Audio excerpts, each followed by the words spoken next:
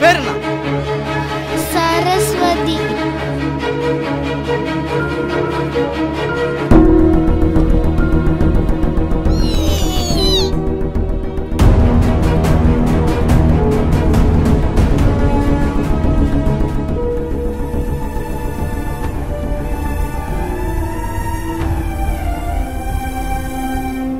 பா பா tie year நல்லா புரியணும்னா நல்லா கவனிக்கணும்.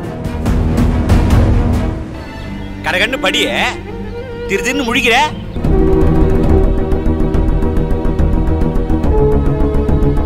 திருக்குறள் எழுதியவர் திருவள்ளுவர். புரியுதா? சார். கரடி என்கிட்ட ஒரு ரகசியம் சொல்லிச்சுன்னு சொன்னானா. என்ன? ஏன் முழிக்கிற? படிச்சு காட்டுவோம்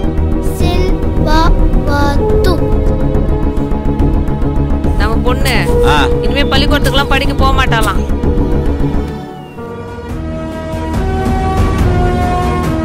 டீச்சர் எனக்கு உங்களை ரொம்ப பிடிக்கும் டீச்சர்.